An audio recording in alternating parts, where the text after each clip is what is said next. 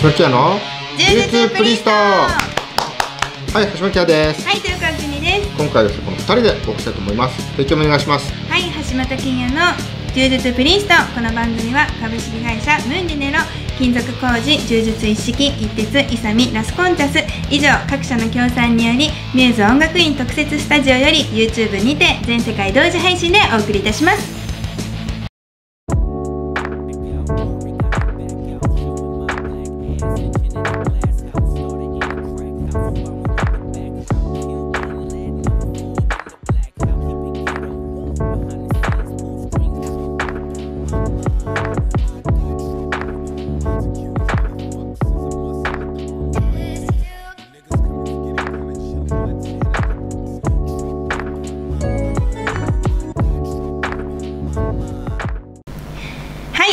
は10月5日土曜日、東京足立区の東京武道館にて行われた JJF で全日本選手権2019をご覧いただきます。VTR スタート。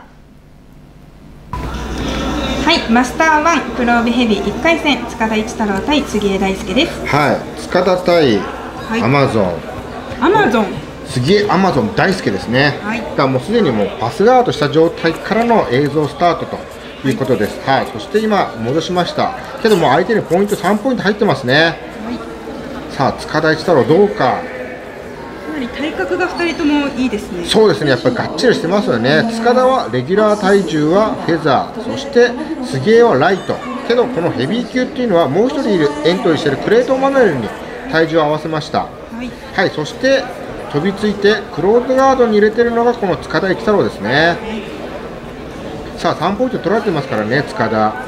さあここからなんとかして足をさあ足をねじ込んでいってからラッソーガード。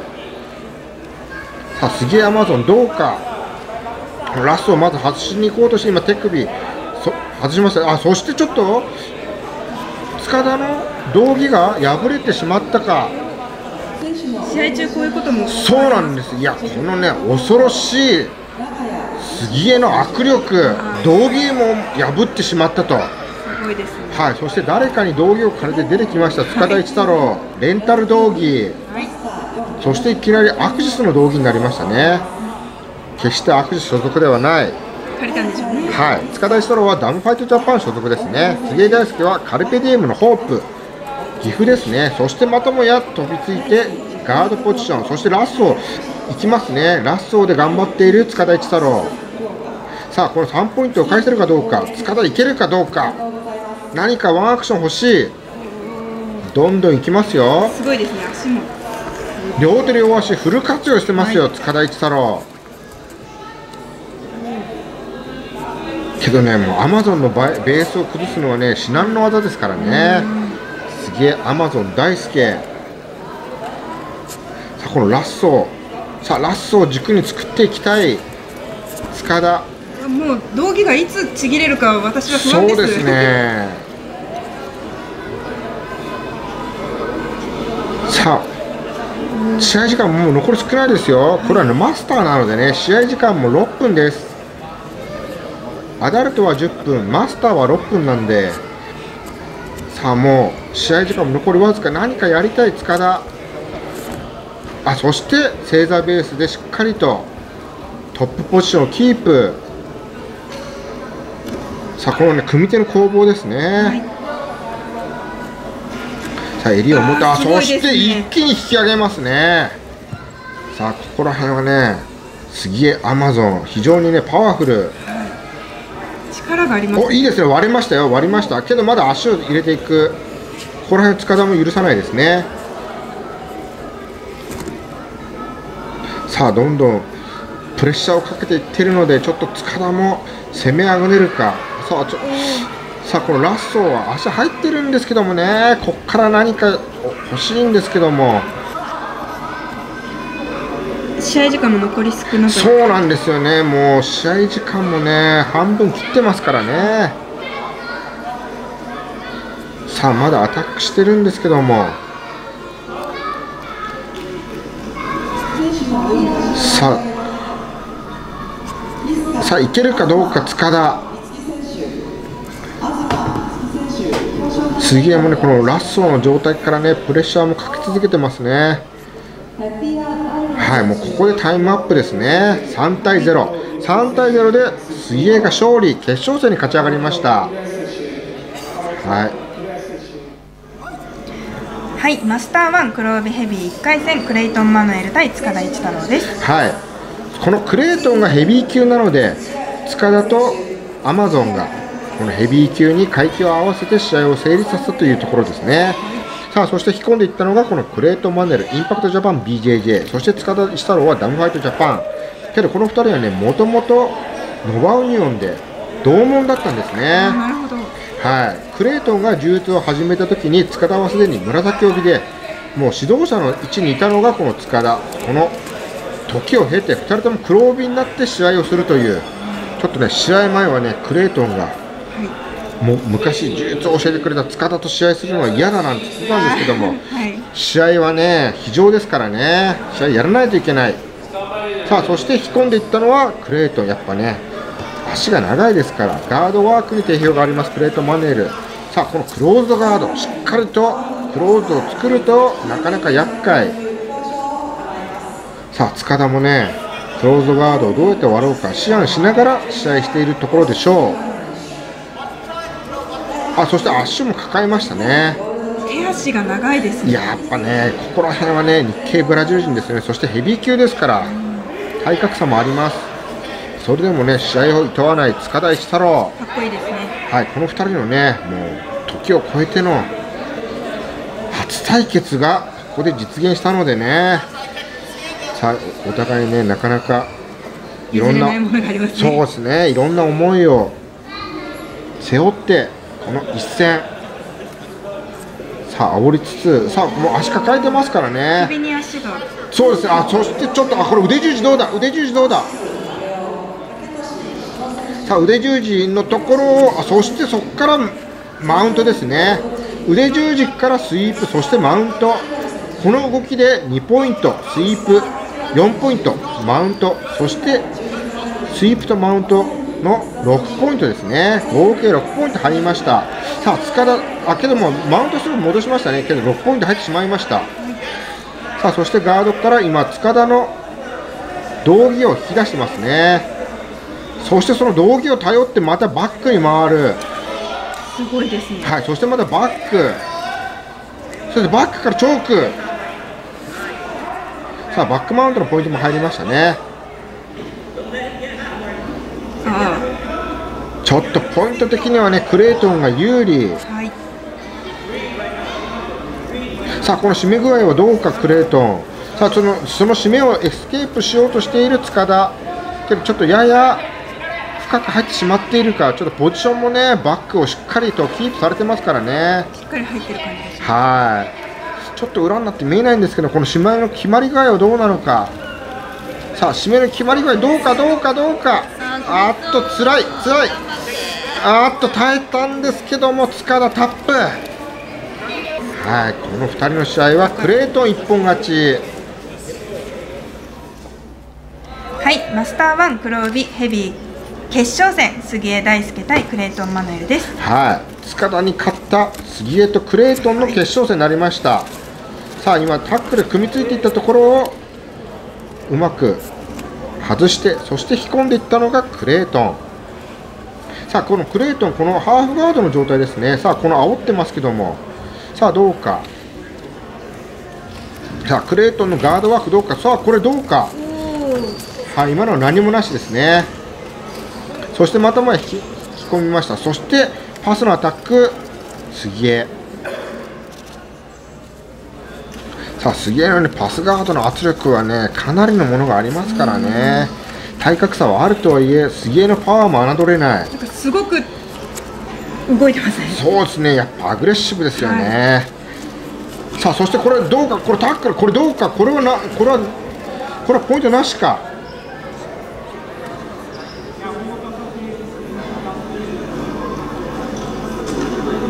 はい。今ので何かポイントあるかと思うけど何もなしですねさあ上下入れ替わったんですけどポイントはなし。さあそして杉江ガードポジションになりました。さあ杉江のガードどうでしょうか？このクレートン。先ほどまでねずっとガードだったんですけどもね、クレイトンのトップポジションもどうか。あそして相手を引きつけつつ上下入れ替え。スイープになりましたね。相手を引きながら相手が後ろに下がったところをうまく押し倒し形にして2ポイント。2対0になりました。さあそして杉江はまたもやクローズドガード割ろうというところですね。トップポジションからのアタック。さあ相手がねどんどん来てますから、そこをどうか。さあまた終わりましたよ。さあまた終わりました。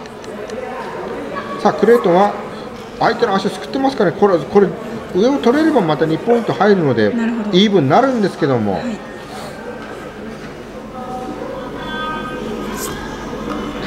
さあここの開始はどうかクレイト。ンさあ上行けるかクレイトン。返せるか。さあ杉江もうまくベースを保っている。あそして何もなし。さあこの状態からどうやった攻めを見せるのか。杉江もパスのアタック。そしてクレイトンはまだディフェンスですね。はい。さあここの状態。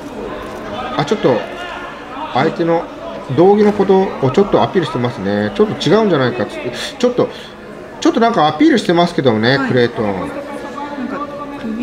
そうです。ちょっとどうなってんだっていうようなちょっとやや戸惑いの表情クレイトン・マヌエル。それでも手足は外さないですからそうですね。すね。やっぱそこはねちょっと油断はしない。かっこいいです。さあどうか。ちょっとささあちょっと今ダブルアンダーに行ってますよ杉江。相手を担ぎきれるか。さあスタック。ダブルアンダーとスタック。そして手が入ってない状態です。この首を今ネックシザーズみたいあ腕が入ってない状態の三角締めですね。腕抜き三角。さあこの形って決めるのか。さあこの腕抜き三角入りましたよこのクレイトン。さあ足も長いし脚力もかなりありますからね。さあちょっとすげえこれかなり苦しそうですけども。そうですね。いやちょっとこの決まり具合はどうかかなり締め上げてますよ。さあクレイトンちょっとこの形腕が一歩入ってないんでね締めの形はどうなのか。さあしっかりと足を組んでこの状態さあクレイトンあちょっと外しましたね。外しました。あちょっと鼻から流血鼻血ですね。かなりの圧力がかかってたんですね。今の腕がない状態の三角で杉江が鼻血。そしてクローズガードから再開。ポイントは2対0で杉江がリード。そしてクローズガードのクレイトン。やはりクローズガードからのアタックは強烈。試合時間も気になるところですそうですね。試合時間ももうあとわずかとはい。いうところですね。さあ鼻にティッシュを詰めた状態。ティッシュか脱脂綿か。こうなるとねちょっと息もしづらいですからね。そうですね。苦しくなりますね。さあもうクレイトンは時間を気にしながらの試合。何か行かないといけない。クレイトンす杉江はしのぎきれば勝ち。お互い時間を気にする試合時間は残りわずか。残りわずかだどうだ？あもうもうもう時計をチラチラもう残り少ないぞ残り少ないぞ。頑張れ。さあどうだ？いけるか？しのげるか？杉江ワンアクションいけるか？クレイトン。手に汗握る攻防。さあいけるか？あおっといけない。まだいける。まだはまだチャンスある。まだチャンスある。まだチャンスあるはーい。ここでタイムアップですね。2-0 2-0で杉江。勝利で優勝ですね。はい。前半はマスターワン黒帯のオープンクラスの試合を見ていただきました。いかがでしたか？はい、塚田、杉江、クレイトン、この三つどもえの試合でね、最後、制したのは杉江、アマゾン大輔、やはりね、安定感は抜群だったと思います。はい。それでは CM です柔術プリーストセレクション。はいこのコーナーはおすすめ商品や新商品を紹介するコーナーです。本日も東京イサミの北野さんにお越しいただきました。よろしくお願いします。本日の商品を教えてください。はい、今回紹介するのは、はい。モンキーテープです。はい。これは缶ですね。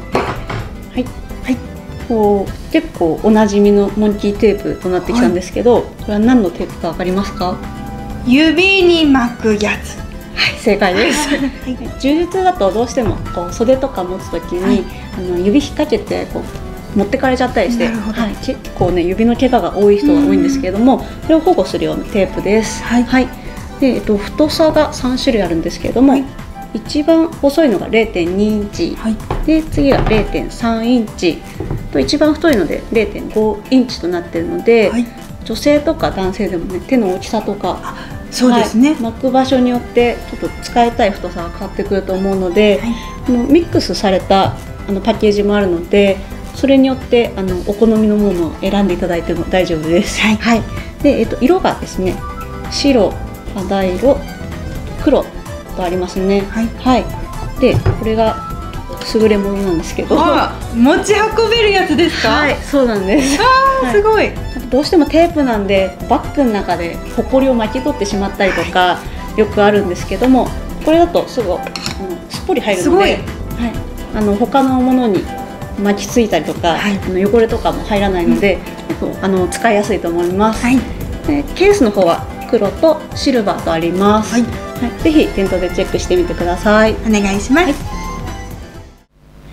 ここからはアダルト黒帯オープンクラスの試合を見ていただきます見どころは？はい、このオープンクラスは1試合だけ、塚田対クレートンの階級別の再戦ということで、今回、先ほどの試合はマスターの試合でした。今回はアダルトということで、試合時間は10分。この2人の試合、どうなるか注目してください。それでは VTR どうぞはい、アダルト黒帯オープンクラス決勝戦塚田一太郎対クレイトン・マノエルですはい、この先ほども言いましたが、はい、この2人のね、因縁、因縁というかね、ちょっと、一悶着、一悶着でもないですね。なんて言えばいいんでしょうか。さまざまな恩讐を超えてのこの試合、はい、引き込みになったのかどうかっていうところで、アンクルピック、塚田がね、テイクダウンで日本に取りましたね。先ほどはね、リアネイキッドチョークで塚田が一本負けしてますから、まずはこのテイクダウン、アンクルピックで2ポイントを先制しました塚田一太郎。さあ、このクレートンのね、クローズドガード、このオープンガードになってますけども、はいやっぱガードワークが強いですからね、クレートン。先ほど敗れてる塚田。リベンジできるか。ね、クレートンが白帯だった時はね、紫帯でね、もうバリバリやってましたよ。このキャリアの差を見せてほしい。譲れない戦いですねはい。先ほど負けてますからね、ここで勝てば1勝1敗のイーブンに戻せます。2連敗を避けたいぞ、片市太郎。先輩黒帯のね、意地を見せてほしい。さあ、そして脇を差しながらのパスのアタックだったんですけど、やはりちょっとここはクレイトンがガードワークを見せております。今、クレイトンがね、下から相手の帯を持ってますね。持ってますねはい。で、JJFJ はね、カラーベルトが赤帯なんですね。JBJJF とか ASJJF、SJJF は黄色と緑の帯なんですけども、JJFJ のみこの赤帯を巻いてし区別してますね。さあ、このパスはどうか。かなりお互い譲らないという意そうですね志がすごく強そうにはい。さあ、これで、あっと、今ちょっとタタックルも狙いそうな感じだったんですけど、またこれ、引き込みましたね、クレイトン。今、ポイントは2対0で塚田がリード、上からどんどんアタックしてますね。さあ、ここから今、ガードワーク、どうやって攻めるか、クレイトン。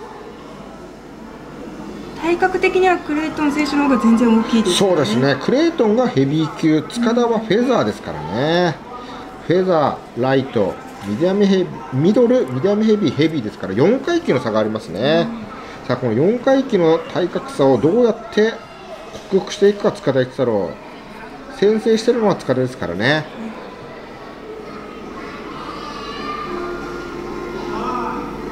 さあどうでしょうか、今、下から相手の足を抱えながらラペラを持ってましたね、さあここでスタックもいけますよ。相手が引いてくるのをちゃんと受け止めてますからね塚田、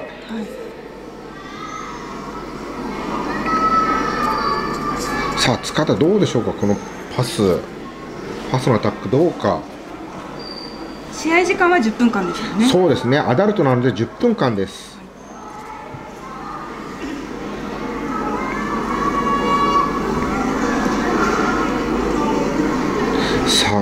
とお互いやや疲れの色が見えるか。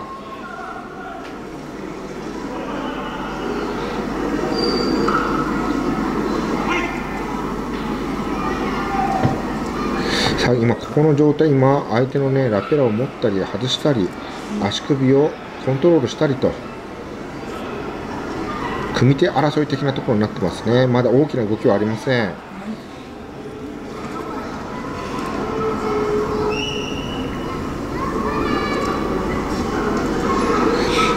ややや攻め上がる両者ともちょっと攻め役になってるところですかね。やや膠着気味。さあ塚田にペナルティ両者にペナルティ入りましたね。膠着のペナルティが入りました。JJFJ はですね、あのーアドバンテージがないんですね。IBJJF ルールに似てるんですけども IBJJF をベースにしたルールでアドバンテージがないという特殊なルール。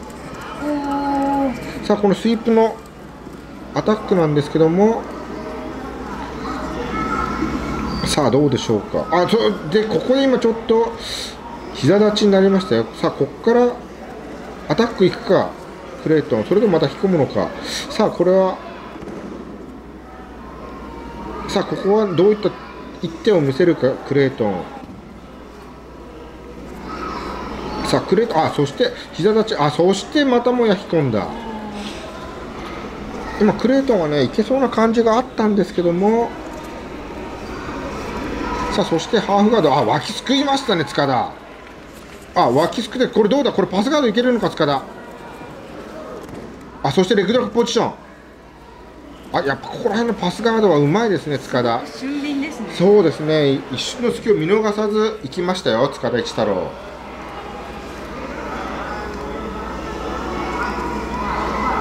さあ塚田は今ニアバックですね。さあバックいけるのかどうか。クレーターはまずガードを戻したいですね。まずはガードを戻したい。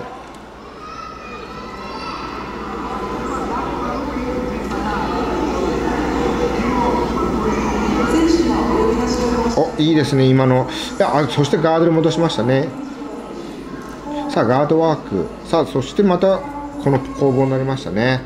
さあそして膝十字か。足を抱えに行く。そしてバックもいけるぞ。さあバックもいけるぞこのクレートン。あなんか痛そうな顔。そうですね。ちょっと足もどうか。さあこれ50-50のスイープですね。あちょっと帯がちょっとずれてしまったかしっかりと持ちきれないか。これスイープのチャンスですからね。クレートンいけますよこれここのポジションを大事にしたこの牙の攻防ですね。塚田は体勢低くしてスイープに耐えている。さあこれいけるか？いけるかクレイトン。ちょっと足あそして足を伸ばしてこれちょっと膝十字的な形になってますけども。膝十字も狙いつつスイープも狙えるこのポジションですね。けどまだ50-50ですね。さあクレイトン時計の方見てますよ。今相手のズボンを引きながらワンアクションあればこれスイープいけそうですけども塚田も耐える。ちょっとこれズボンが切れてしまったらそう上下切れっすねることになってしそうっとそこをうまく耐えてそして逆に相手の足を越えてこれパス。さあ胸と胸を合わせられればパスガードできますか？あそうどうだ？これちょっとクレート今気を抜いたか。さあパスガード入ってしまいましたね。5対05対0になりました。塚田クレートンなんとここで塚田は5対0になりました。試合時間もうほぼなし。はい。はい。これでもうクレイトンもほぼ諦めか。体格のいい選手にそれよりも小柄な選手が勝つのがちょっとそうですね、さすがですすね。ね、無差別級の試合で、まあ、いい笑顔だ、あいいね。この2人のね、旧友のね、試合、5対0で塚田一太郎がクレイトンに勝利してリベンジで優勝、おめでとうございま。おめですとうございますはい、クレイトンも称えますね、いい試合でした。はいアダルト黒帯オープンクラスの試合を見ていただきました。いかがでしたか？はい、塚田対クレイトンのね、階級別についての無差別級の一戦、ここでなんとしっかりと5対0でリベンジをした塚田一太郎、やはりね、こう先輩黒帯の意思を見せてくれました。敗れたクレイトンもね、非常にあの感慨深い表情を見せてたのが印象的でした。はいそれでは CM ですはい今日は JJFJ の全日本選手権2019をご覧いただきましたいかがでしたか？はい、全日本選手権ね、この JJFJ、JBJJF、SJJF と3つの連盟がね、それぞれ行ってますけども、この JJFJ の、ね、全日本選手権も非常に盛り上がってよかったと思います。このね、JJFJ の全日本選手権、これからもね、毎年見ていきたいと思いますので、こちらの方も期待してください。では最後に提供お願いします。はい橋本真也の柔術プリンストこの番組は株式会社ムンディネロ金属工事柔術一式一鉄イサミラスコンチャス以上各社の提供によりミューズ音楽院特設スタジオより YouTube にて全世界同時配信でお送りいたしましたはい、そのキアのジュースピスト、また来週お目にかかると思います。さよなら。さよなら